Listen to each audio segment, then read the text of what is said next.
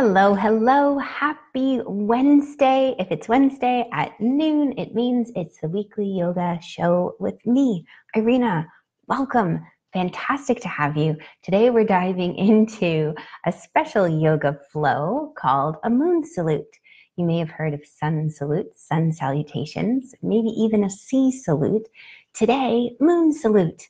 Why? Because it's it's just fun, right? It's fun to move our body in different ways and to also recognize those moments when the moon makes us a little stir crazy. I love those memes that are floating around the internet like you don't even need to look outside and you know it's a full moon, right? It's just something in the air. Everybody seems to be acting a little bit uh, wilder. There's a little bit more adventure going on. Um, it's funny because both my little ones, my son and my daughter, were born on full moons. And yeah, it can create a lot of pandemonium in hospitals, right? So thank you for joining me. Without further ado, we're going to jump into the moon salute. And if we haven't met before, I'm Irena, and I'm so glad you're here. My joy is helping you tap into your unseen resources to give you an edge to life, right? To not feel like life is happening to you, but you can engage with life and make it more playful. That's what today is about. So join me, join me. If you have, you know, a yoga block or a chair nearby. That can be nice to have. We're going to start at the top of our space, and I'm going to face the top of my mat so you can see what's happening from a sideways view, and it'll be an adventure. With your yoga blocks, you're going to set them up so that they're on the back edge of your mat, like so, about as long as the mat, highest height.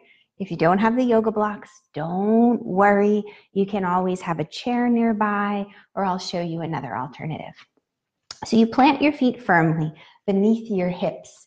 And from the center of the ankle to the second toe, you imagine a line pointing forward.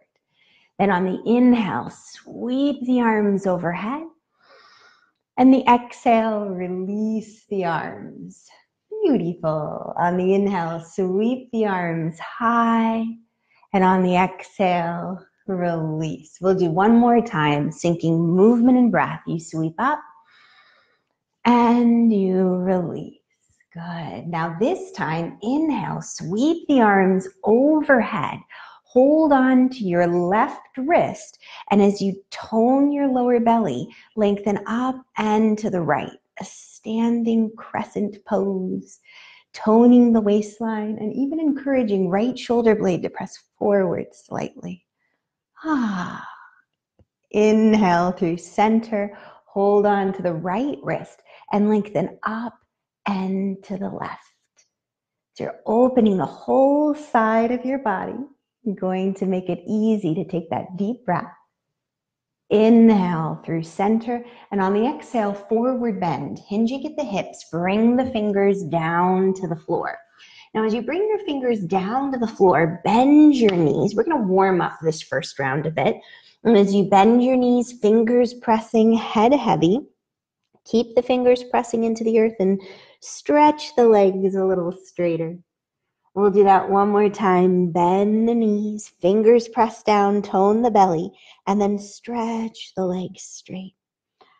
on the next inhale, lengthen the chest forward. And on the exhale, step right leg back, low lunge. As the right leg comes back, inhale, sweep the heart and arms up into Anjaneya Asana this wonderful position to open the chest, the upper body, the front of the thigh. On the exhale, hands to the floor, lift the back knee up. We're going to get fancy in the transition here. So you bring your left arm to the inside of the leg. Turn your toes to the right so that they face the edge of your sticky mat. And from this wide angle forward bend, keep the fingers pressing into the floor. Bend the knees an inch. Lift and spread the toes. We want a firm foundation to support us because we're going to fly to the moon in a moment. Lift the pinky toe side of your foot a little bit. And as you spread your pinky toe, tone from the pinky toe to the outer knee, those outer shins firm. And as you firm your outer shins, move the inner thighs back, stretching the legs a little straighter. tone the lower belly and lengthen from the outer hips down to the pinky toe side of the foot, rooting it into the floor. Hmm. Then on the inhale, bring the hands to the hips, draw the shoulder blades out of the back, lift the sides of the neck, and come all the way up. Wonderful. From here, you're going to turn your left leg in a little, your right leg open. Extend the arms out to a T and very slowly triangle pose. So both legs are straight and steady. And as you push through the ball of the right foot, reach that right arm out to the side. Maybe you bring your right hand to your shin. Maybe if that yoga block is nearby, you have that next to the outer right ankle and you press your hand down into it. And if your hamstrings, the back of the legs are feeling nice and open, you're going to bring your right fingers all the way down to the floor. And this really just depends on how tight you are through the back of your leg, how your hips are feeling. Now, from triangle, we go to half moon. This is where things get nice and fun and a little wild. You bring your left hand to your hip. It's nice to have a yoga block for this, but not necessary. I'm going to show you with the block. You bend your right leg, slide your left leg in enough so that right hip is over right ankle. Here's the secret ingredient. You take your right block and hand forward and a little wide. If it's close to the foot, if it's right in front of the foot, you won't have the same stability. So think forward and wide.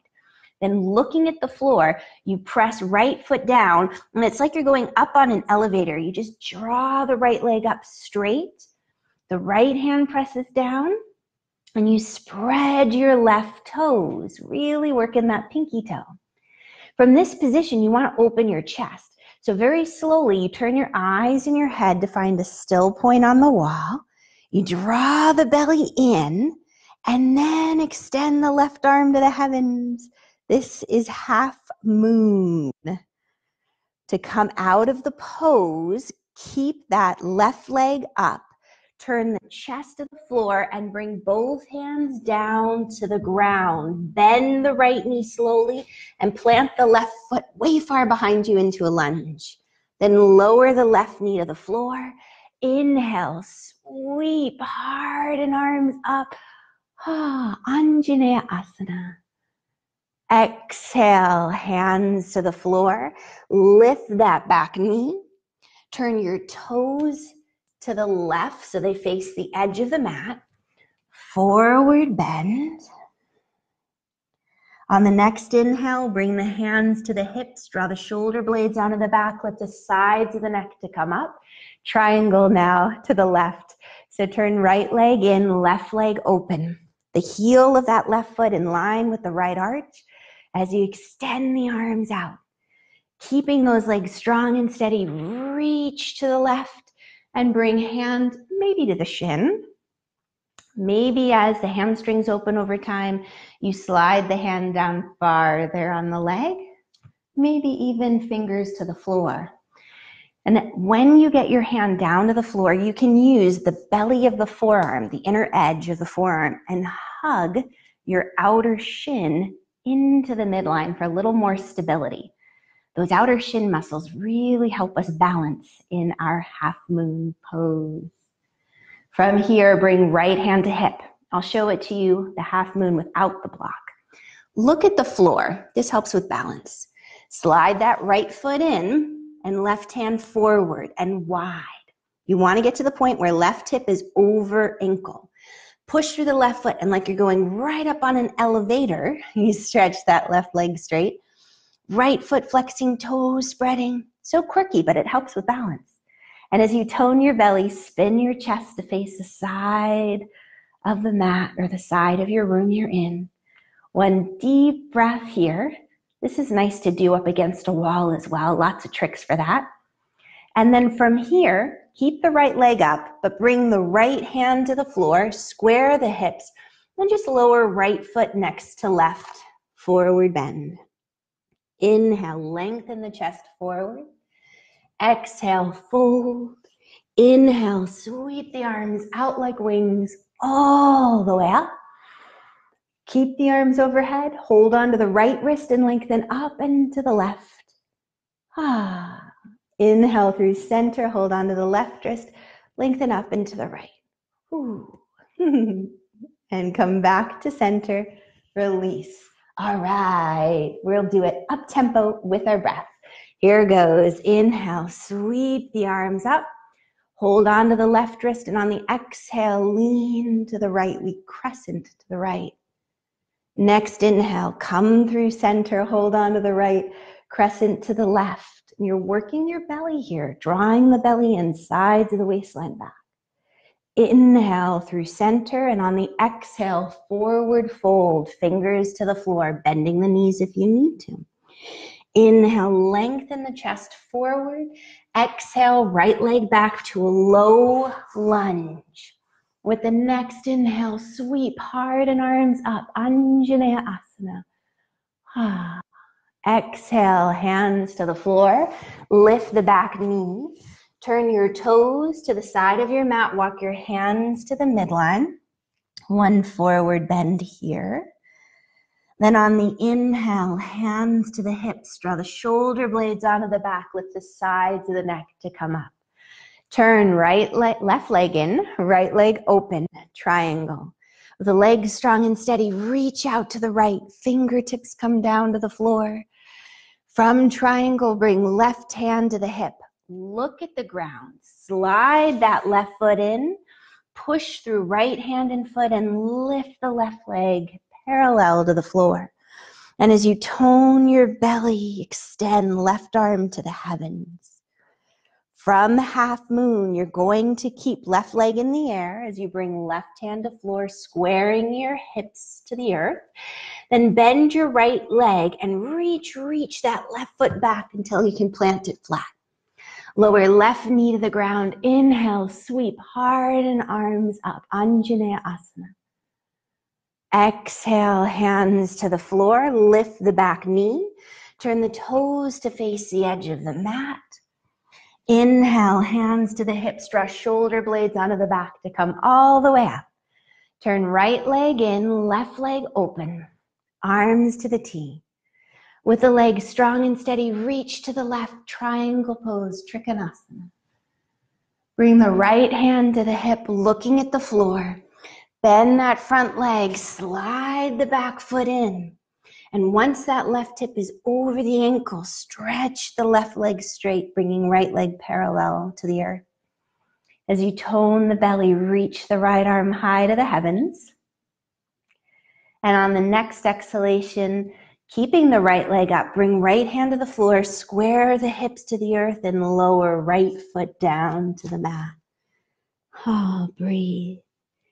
Inhale, lengthen the chest forward. Exhale to fold. Inhale, arms sweep out like wings all the way up.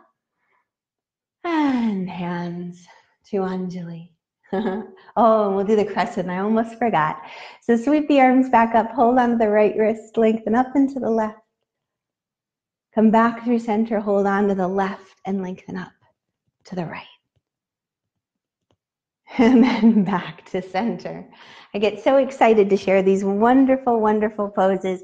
So as you stop by and you play these moon salutes with me, and there are some variations on them out there, many different ways to do moon salutes, sun salutations.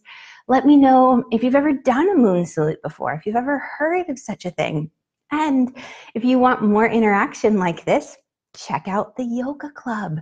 And if you haven't heard of the Yoga Club, oh my goodness, I have a free 14 day trial going on right now. Grab it while you can because it won't be around forever.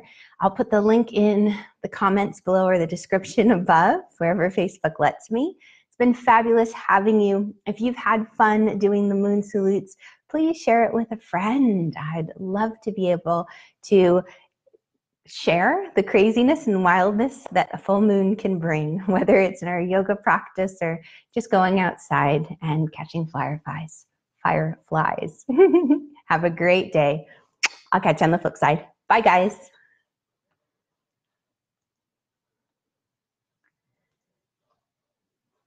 Hmm. There we go. Bye.